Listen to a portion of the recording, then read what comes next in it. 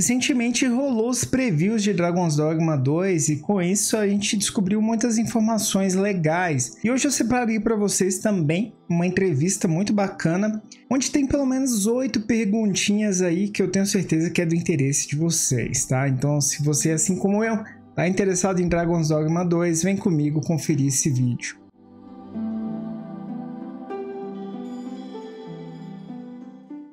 Esse gameplay que vocês estão vendo de fundo é da preview final da IGN para quem quiser conferir. A gente vai estar tá batendo um papo aqui sobre a entrevista que o Jason Hidalgo da Reno Gazette Journal fez com o Hideaki Itsuno, diretor aí de Dragon's Dogma 2. A primeira coisa que ele perguntou foi sobre a questão do frame rate, se o jogo teria os 60 frames por segundo, que são muito pedidos, né? E que todo mundo esperava devido ao ótimo trabalho que a Capcom vem fazendo em seus jogos. Infelizmente, a resposta dada foi de que Dragon's Dogma 2 apresenta o desempenho de taxa de quadros ilimitada em torno de 30 FPS ou superior nos consoles, né? Para PC vai depender aí das especificações da máquina, mas para consoles o objetivo da Capcom é a taxa de quadros ilimitada em torno de 30 FPS. Essa notícia deixou muitos jogadores céticos com Dragon's Dogma 2, pois muita gente esperava os 60 FPS vindo da Capcom, né?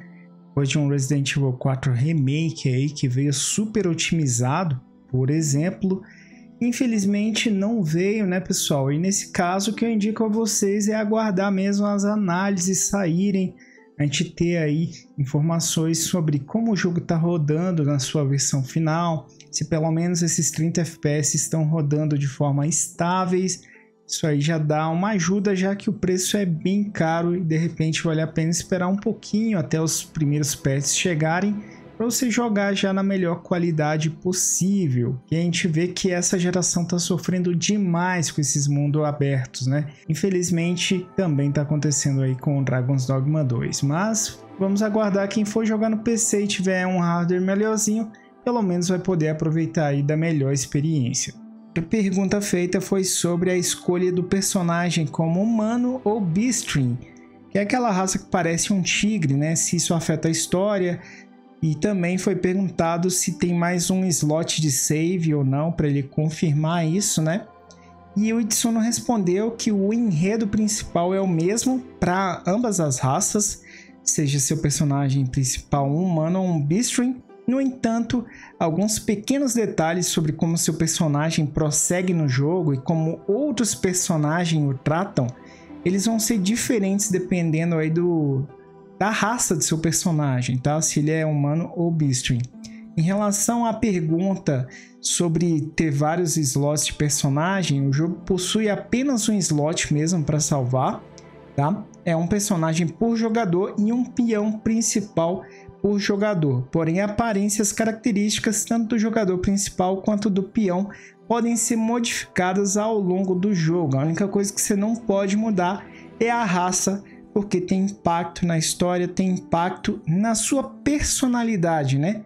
Do seu personagem ali dentro daquele universo, beleza? O questionamento foi sobre o número de vocações, que até então foram reveladas 10 vocações e ele confirmou que atualmente os planos são de 10 vocações mesmo, é tudo que eles têm planejado neste momento, né? Deixando em aberto aí para o futuro se pode ter alguma novidade, se pode ter alguma coisa nova na expansão, né? Até expansão das vocações já existentes é possível, né, pessoal? É possível sim. A Capcom gosta de fazer essas coisas quando ela lança ali de repente uma expansão, um atrativo, né, para renovar o gameplay, para a galera se interessar. Vamos ficar ligado, mas eu senti que na resposta dele deixa ali, né, um, meio que três pontinhos, pode ter algo em aberto para o futuro. Foi perguntado também sobre o tipo de corpo de um personagem, se ainda traz vantagens e desvantagens, se criar um personagem enorme, haverá áreas nas quais o personagem não consegue entrar, por exemplo, e o Tsuno respondeu que em Dragon's Dogma 2 você não vai ter nenhuma situação em que não consiga entrar em um lugar por conta do seu biotipo, né, do, do tipo do seu corpo. No entanto, o tipo do corpo ainda vai ter impacto nas estatísticas ou na característica do seu personagem. Então, se o personagem for mais alto, haverá características que correspondem a isso. Se o personagem for mais baixo, haverá características também correspondem a isso. Por exemplo, o tipo do corpo pode afetar a quantidade de peso que o seu personagem pode carregar ou a rapidez com que a sua estamina se regenera. Além disso, o comprimento de seus membros afeta a velocidade que se movem e também o alcance aí dos seus ataques. Isso é bem interessante.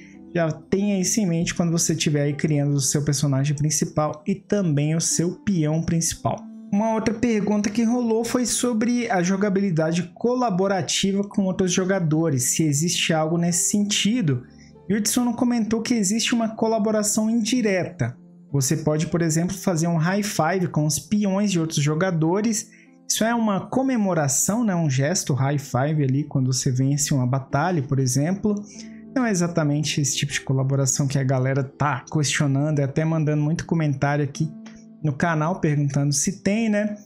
Mas é uma possibilidade. Ele falou também que as características de outros jogadores vão ser refletidos nos seus peões. Então, se você tiver aí, por exemplo, de colaborar de alguma forma, isso vai refletir de forma indireta. Por exemplo, ele citou que ele não gosta de pegar itens constantemente, então existem especialidades ou características especiais que você pode atribuir aos peões, né? Incluindo aquela que eles pegam os itens por você. Esse tipo de coisa pode ser refletida aí nos, nos peões dele e os seus peões podem visitar o mundo de outros jogadores, então de certa forma você pode estar colaborando aí com outros jogadores né, de forma indireta. Não é exatamente um co-op, como eu acredito que o entrevistador queria saber, né? Mas aí vocês já entenderam mais ou menos como vai funcionar a colaboração. É mais pelo conhecimento que vai vir pelos peões, né, e também pelas habilidades refletidas aí do gosto do player. Uma pergunta interessante foi se é necessário ter uma conexão de internet o tempo inteiro e também se vai haver aí microtransações e em caso afirmativo como elas vão ser aplicadas. O Itsuno comentou que o jogo pode ser jogado offline, no entanto, para contratar os peões de outros jogadores você vai precisar estar online. Isso é definitivamente incentivado. Isso aqui é bem tranquilo, tá pessoal? Você coloca o jogo online, vai ali no Rift, pega os peões que estão na internet, ok? Depois que eles já estão com você, você pode colocar o jogo offline novamente. Então é só é preciso estar online para você conseguir acessar o banco de dados onde vai estar todos os peões, né? E as informações de outros jogadores, beleza? Mas depois disso, não precisa estar 100% online. De todo caso, se você não tiver internet, o jogo conta com vários peões criados pela própria Capcom em várias regiões do mapa que você pode conversar e atribuir aí para a sua party, né? no caso para o seu grupo. Em termos de microtransações, ele falou que por enquanto só tem aquela DLC da Deluxe, né? Quem compra Deluxe depois posteriormente ela vai vir separadamente também. Mas vamos ficar de olho aí se a Capcom não vai crescer o olho e colocar uns equipamentos em camadas, uns cosméticos aí no futuro, né? Quando perguntado sobre a dificuldade do jogo, Itsuno falou que o jogo é bem difícil comparado ao primeiro. Normalmente a dificuldade é determinada por fatores como o tempo necessário, a técnica necessária, o conhecimento necessário. Eles fizeram um esforço consciente aí para reduzir os elementos que dependessem do tempo e em termos de dificuldade, como jogo de ação, uma mudança que eles fizeram foi colocar um sistema que otimiza a dificuldade de acordo com o jogador. Isso aqui é um balanceamento automático? Me preocupa um pouquinho isso, tá? Mas enfim, eu prefiro que fosse uma dificuldade igual para todos, mas pelo que eu estou entendendo aqui, vai ter um ajuste automático. Eu acho que no Resident Evil 4 tem isso também, se eu não estou enganado. Se vocês souberem, deixem aí nos comentários.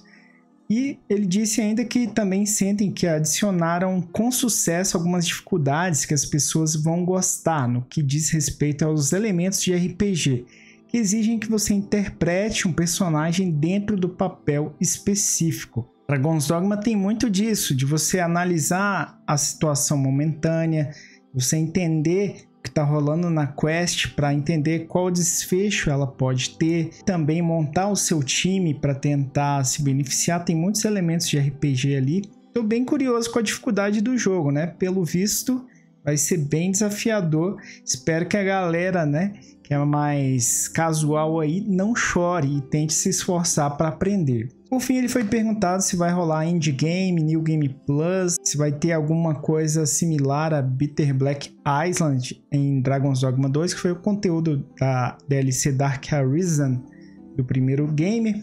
Ele respondeu: Olha, o Indie Game é algo que eu não posso comentar agora, porque eu não quero spoiler nem nada do tipo, então eu peço que vocês aguardem ansiosamente para a gente falar sobre isso. Quem acompanha aqui o canal sabe que é uma abordagem da Capcom, o lançamento de expansões, e a meta da Capcom é fazer que um jogo seja jogado por pelo menos 2 a 3 anos, tá?